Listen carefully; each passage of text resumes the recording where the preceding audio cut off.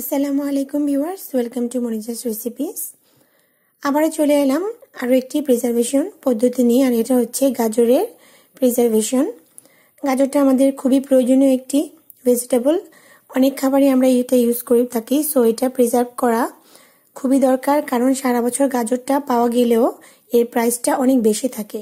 So আমরা সহজেই কিন্তু এটা ডিপ ফ্রিজে প্রিজার্ভ করতে পারি, আর সারা বছর ইউজ করতে পারি। চলুন দেখে আসি গাজর প্রিজার্ভেশন পদ্ধতি। এখনও আপনারা যারা আমার চ্যানেল সাবস্ক্রাইব করেননি তারা আমার চ্যানেলের নিচে রেড কালারের সাবস্ক্রাইব বাটনে প্রেস করুন এবং পাশে যে বেল আইকনটি আসবে সেই বেল আইকনে প্রেস করুন। এতে করে আমার চ্যানেলের সব রেসিপি আপনারা নোটিফিকেশন আকারে পেয়ে যাবেন।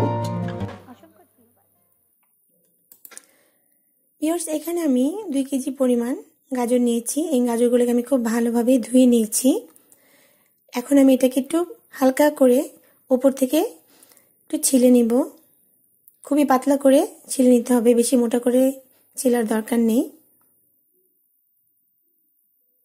আপনারা যারা দা বা বটি ইউজ করে থাকেন, তারা কিন্তু বটি বা দা দিয়েও হালকাভাবে একটু আঁচড় দিয়ে দিয়ে গাজরের উপরের অংশটা ছিলে নিতে পারেন। এভাবে করে আমি সবগুলো গাজরকেই ছিলে নিব।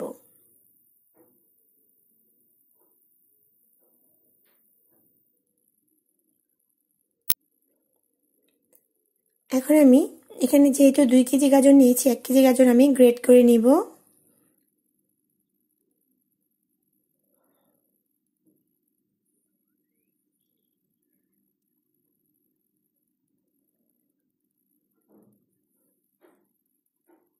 এভাবে করে আমি এক কেজি পরিমাণ গাজরটাকে গ্রেড করে নিচ্ছি ভিউয়ার্স হয়ে গেল গ্রেড করা। এখনই গ্রেড করা গাজরটাকে আমি প্রিজার্ভ করব ডিপ ফ্রিজে এই জন্য আমি এখানে একটি বক্স নিয়েছি। এই বক্সটাতে আমি এই গাজরগুলোকে নিয়ে নিচ্ছি।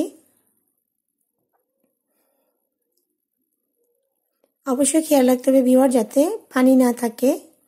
একদম ঝরঝরে গ্রেট করা গাজরটাই প্রিজার্ভ করবেন। বেশি পানি থাকলে বা পানি যদি থাকে তাহলে কিন্তু বেশি বরফ হয়ে যাবে। সো তখন দেখা যাবে যে গাজরটাকে তুলতে অসুবিধা হবে। আর এভাবে রাখলে বেশি শক্ত হবে না, নরম নরমই থাকবে। আপনার প্রয়োজন মতো আপনি এটাকে এখান থেকে উঠিয়ে ইউজ করতে পারবেন।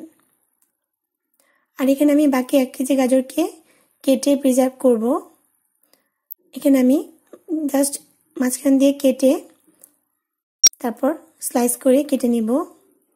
এভাবে কেটে কিন্তু ভিউয়ার্স আমরা বেশিরভাগই সবজিতে ইউজ করে থাকি। চাইনিজ সবজি বা ঘরে নর্মাল সবজিতেও গাজরটা ইউজ করা হয়। আপনারা চাইলে কিন্তু গাজরটাকে দুই ভাগ না করে চার ভাগ করেও করতে পারেন। যার যেমন করে পছন্দ, সেরকম সাইজের কেটে নেবেন। আমি এভাবে করে কেটে নিচ্ছি।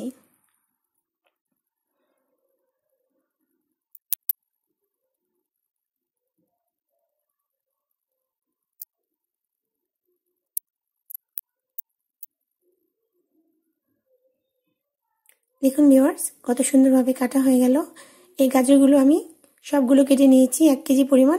এগুলোকে আমি এরকম একটা পলে বেগে ভরে নিয়েছি। আপনারা ইচ্ছে করলে এই গাজরগুলোকেও বক্সে প্রিজার্ভ করতে পারেন। হয়ে গেল ভিওয়ার্স দুই ধরনের প্রিজার্ভেশন খুবই সহজ। আর এভাবে রাখলে কিন্তু সারা বছরই গাজর আমরা যখন তখনই খেতে পারি। আমি এখানে গত বছরে কিছু গাজর দেখাচ্ছি। এটাকে আমি চার ভাগ করে প্রিজার্ভ করেছিলাম।